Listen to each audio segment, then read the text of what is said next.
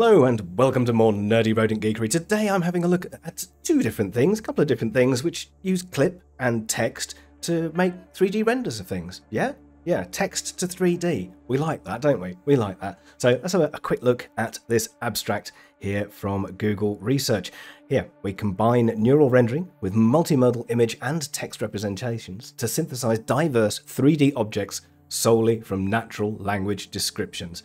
Or, in other words, you type in a bit of text and it makes a delicious 3D render for you. How awesome is that?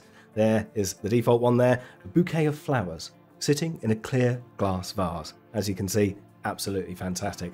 And there's a sculpture of a rooster, you got a robotic dog as well, and all these other things, map painting trending on ArtStation, rendered in Unreal Engine, and all, all this sort of stuff that you're used to and typing into your clip when you're making text to image. Yep, you can do all of that as well with text to 3D. Yeah, how, how, awesome, how awesome. So there's a couple of things. You've got the code there on GitHub and also a Colab notebook demo. Me being me, I did, of course, a little go with the GitHub and running this locally. Uh, but um, yeah, uh, spoilers, I'd, I'd, probably stick to the Colab. Um, so there are a couple of ways to run this locally. You've got a Docker here, which is great, which is fantastic if you use Docker. Uh, I, of course, tried running it in a virtual environment, which is fine. You know, it, it all installs and runs perfectly well. Um, apart from this, this little bit here, not not entirely sure about. Not entirely sure about. So they provide three configuration files: the low quality, medium quality, and high quality. Uh, low quality is meant to provide faster, around 30 minute uh, text to 3D synthesis, uh, assuming you have four 16 gigabyte GPUs available to you. I, of course, only have one GPU. So I, gave it a little go. And uh, first of all, the low quality config said no, you, you don't have enough VRAM. I'm terribly sorry, terribly sorry. Um, so I, I, changed it a little bit, got it running, and uh, basically the same settings as the Colab notebook, dropped the number of samples down to 64, uh, and uh, did the, the default one there, bouquet of flowers sitting in a clear glass vase, and it said no, no, no, this is going to take about seven hours. So not not quite 30 minutes, seven hours. So um, yes, I, I, stopped that one. I stopped that one. Uh, probably something to run overnight, but uh, yes, would highly recommend using the Colab instead. I did have a go on this one, and this took around two hours or so instead. So this was a little bit faster, a little bit faster on this one.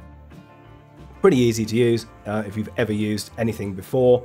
Uh, but all, all you have to do, scroll down after you've installed all this, and then you've got your prompts eventually. Here you go, configuring a run. So query there, that's where you put your, you know, a, a 3D robot rendered on uh, ArtStation, trending on Unreal Engine, whatever you want to put in there, and uh, whatever seed you want to use. Pick your clip model. Basically, I stuck with the defaults. That's it. I just changed the query in the seed. All these, all these other things, yeah, stuck them as the same.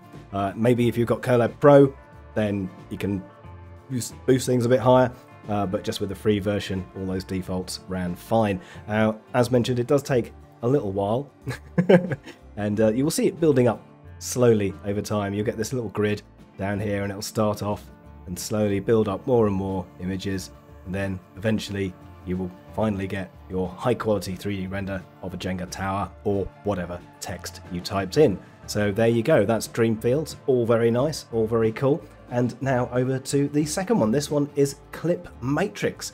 This is very similar, but it doesn't create the 3D model. You have to give it an OBJ file, 3D object, so you can give it, you know, your own 3D model that you've got, and uh, basically it will do the textures for you and uh, model the. Uh, it will change the 3D model a little bit, but not too far, obviously, from the original model that you give it. So if you give it a model of a humanoid, which is the, the default one with this, then you won't you won't be able to make a four-legged dog out of it uh, but you will be able to make vampires and werewolves and all, all sorts of other uh, humanoid type creatures.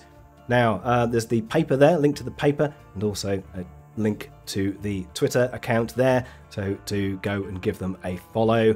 Uh, because yeah, it's it's the right thing to do. So here we go. Let's let's have a little scroll down in here, and again, much the same thing. You can run this locally as well. It's nice. It's got an if is Colab, so it you know it'll change your paths. You don't have to take the slash content out it will all install nicely. Uh, one suggestion I do have, um, if you're installing this locally, is to use Torch 1.9.1 uh, purely for uh, the PyTorch 3D Uh, it's a little bit tricky to get it compiled with the latest PyTorch 1.11. So yeah, use PyTorch 1.9 uh, and uh, you can do your Jupyter Notebook stuff locally and that will all run nicely. Again, this is pretty similar. You know, you'll, you'll keep most of the stuff the same there. Model.obj, that's, that's your OBJ file. It will download that one for you by default if you want it. If you haven't got an OBJ, that's absolutely fine. And then you've got all this text here. So you've got the head prompt, head with tentacles of body prompt. So this this is all um, your clip stuff.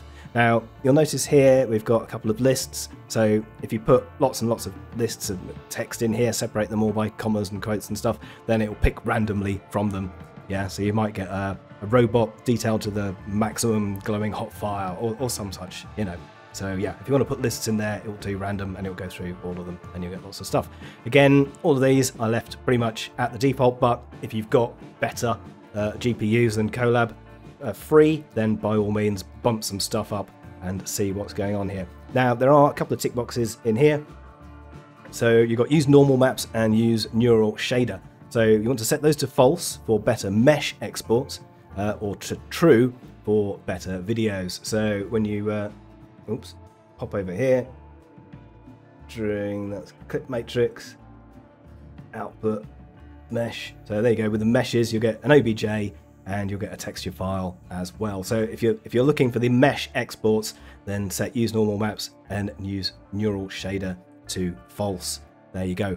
And uh, yeah, that's that's that's it. There you go. Click run all. It'll go through all this stuff, go through all the stuff, and then eventually at the end you'll get your, your 3D model and your plots and all your different videos. So I'll have a, a little look at some of the videos in here. There we go. So, for example, here is a, uh, weird frog creature. There you go. Weird frog creature. Yeah, that's that's nice and weird. or it'll do little zoomy in videos as well.